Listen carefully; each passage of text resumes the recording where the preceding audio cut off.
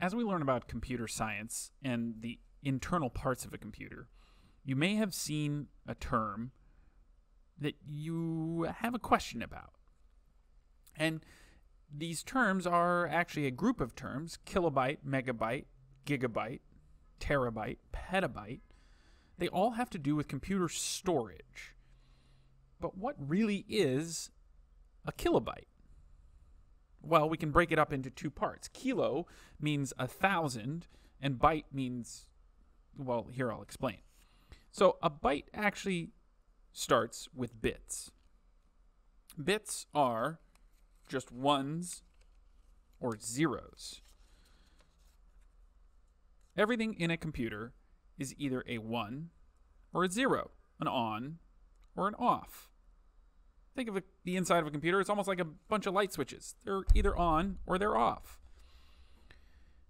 If we take these bits and put them together, and we put eight of them together, we get what is called a byte. Now, a byte actually has enough information that it can store something useful. A 1 or a 0, uh, it's kind of useful, but eight of them strung together now gives us enough possibilities in the number of combinations that we can have of ones and zeros that we can actually store the English alphabet using ones and zeros and a group of eight of them in a single byte. But this is a single byte. It's not very much information. Maybe one letter, maybe a couple if you really uh, get things compressed well, but you can't store much information in there at all and it's not very thick. It's not very big yet, but what if we go to our first unit of information, the kilobyte? That's actually the first useful piece of information. That is going to be 8,000 post it notes or a 1,000 bytes. What does that look like? It looks kind of like this. See if I can get all these in the shot. No, that's not 8,000 post its yet. We need more. We're going to need even more than this. We're still going to need more. We're still not there at 8,000. We've got more to go. We're getting closer. But we're still not quite there. We got to start stacking them up. We're still not there. Almost.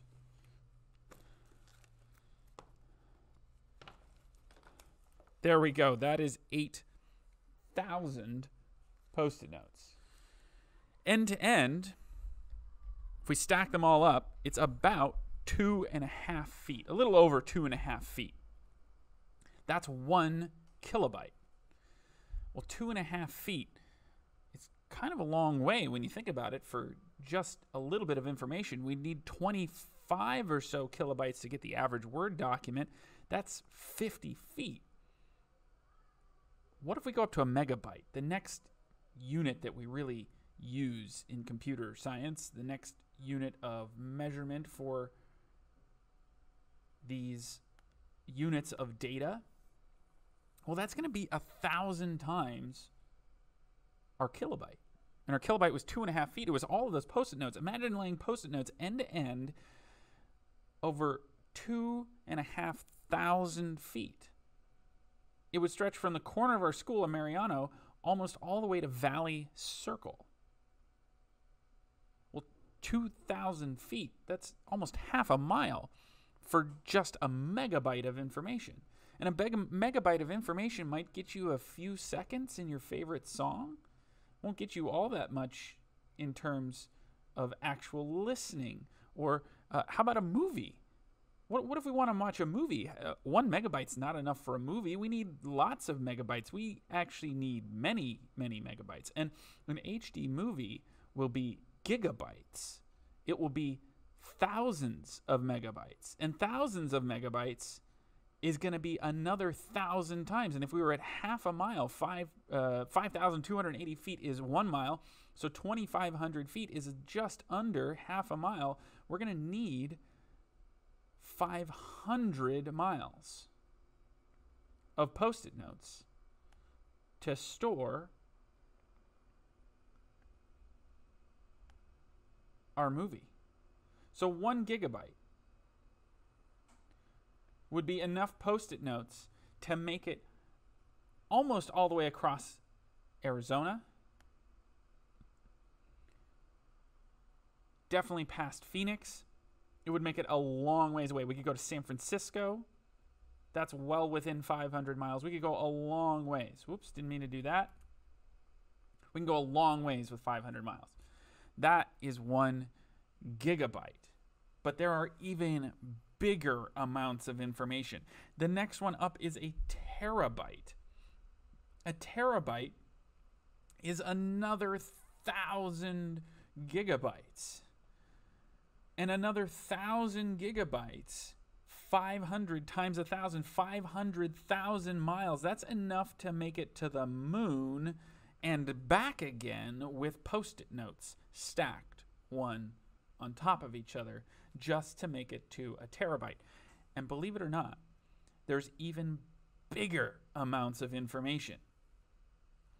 Places like Google, Amazon, Oracle, uh, even some of the big YouTubers you follow uh, on YouTube store petabytes of information, which is a thousand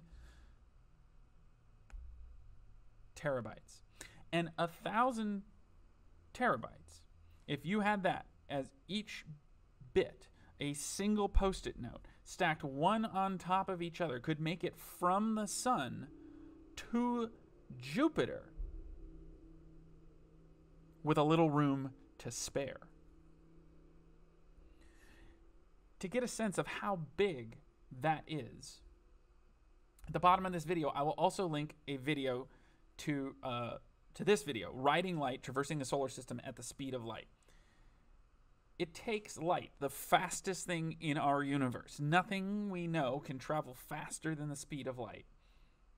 It takes 44 minutes to get from the sun to Jupiter. Light is so fast, it's a blink of an eye to you and I. But it takes 44 minutes to get from the sun to Jupiter. That's how much a petabyte of information is. It's an absolutely staggeringly large number. And yet, with modern computers, we can store that amount of information in a space that could fit on a standard school desk. You could actually, with a little bit of challenge, but maybe with a few people, you could lift up a petabyte of storage and carry it around. It's so much information. All right, I just wanted to share that with you because I find it really exciting.